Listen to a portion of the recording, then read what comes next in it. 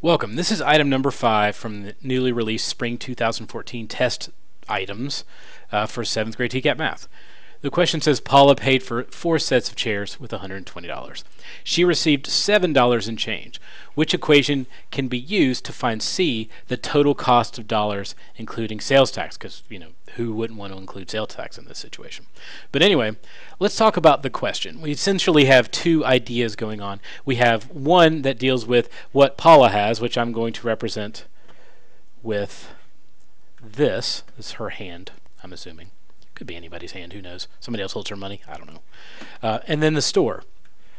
By the way, I took this photo of the store because it's a store, which I thought was epic. Anyway, uh, let's just look at visually what's there. Paula paid for a set of four chairs with $120. She gave $120 to the store. So we're going to put in green, of course, why wouldn't we? $120 over here. She gave $100, $120 to them. What she is left with is four chairs. I don't know what color chairs are. Brown probably, but I'm going to use purple because it's already what I had. And then she also gets $7 in change. She gets 7 bucks and four chairs. So those must be pretty decent chairs, I would imagine. I don't know. Um, so if we have this information, it's really easy to create the equation.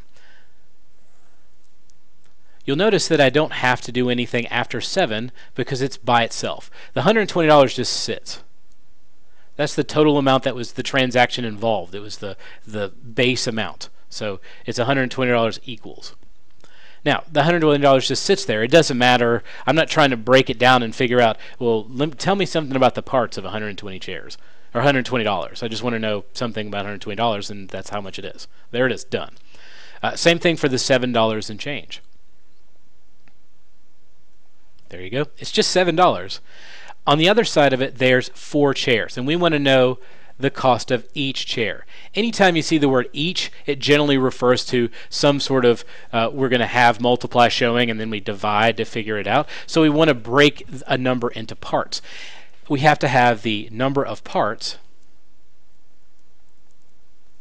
times the item name. So in this case, I have four chairs, so I'll say four chairs. So if you just write out all the parts, I mean, you probably won't have access to totally sweet clip art while you're doing it. But if you make like a little drawing for yourself of what Paula has versus what the store has, it's really easy to write this equation. So you get this set up. And just sort of think in your head, if you don't want to go that far with it, like, okay, what's Paula left with versus what's the store? The store gets $120. They give seven of it back. But it, you know, you could do this if you want. She gets out four chairs, so she pays $120.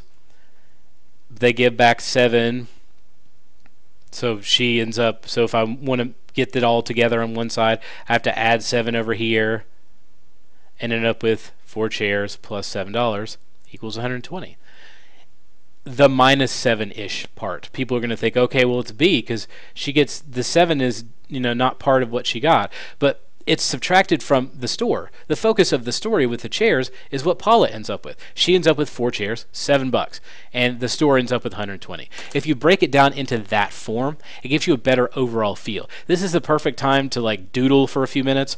Um, you know, not for very long. Other students will whatever, whatever. But spend a little time drawing some stuff. It makes it easier to visualize when you're doing it, and that way you're not just picking an answer you can beat this question. It's not a difficult question once you get to draw a picture, and you probably draw in the corner of your notebook anyway, so this is a chance to do it for a real reason. And then when your teacher asks you what you're doing, you're like, I'm learning. You know, win-win for everyone. That's it.